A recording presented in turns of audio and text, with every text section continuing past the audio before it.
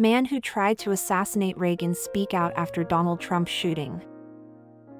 The man who tried to assassinate Ronald Reagan has disavowed violence in the wake of the attempt on Donald Trump's life.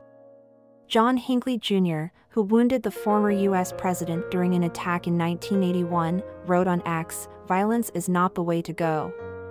Give peace a chance.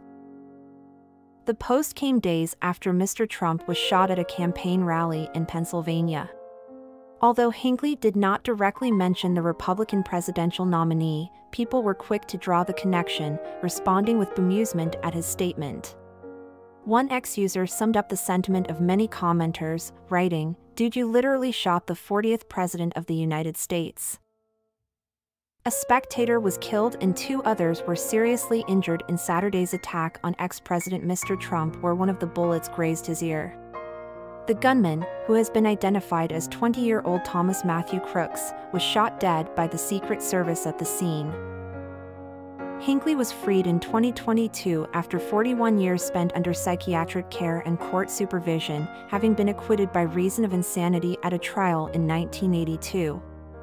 Restrictions on his freedom had gradually been lifted in the lead up to his release, including limits on social media use. By the time he was unconditionally released, he had more than 28,000 followers on X, then Twitter, which has since grown to more than 62,000. Hinckley became a household name after wounding Mr. Reagan and three others outside a Washington hotel. He was suffering from acute psychosis and wanted to impress actress Jodie Foster, who he was obsessed with at the time of the shooting. Mr. Reagan recovered after surgery for a punctured lung. However, his press secretary Jim Brady was left with permanent disabilities after the first of six bullets Hinckley fired hit his head, shattering the brain cavity.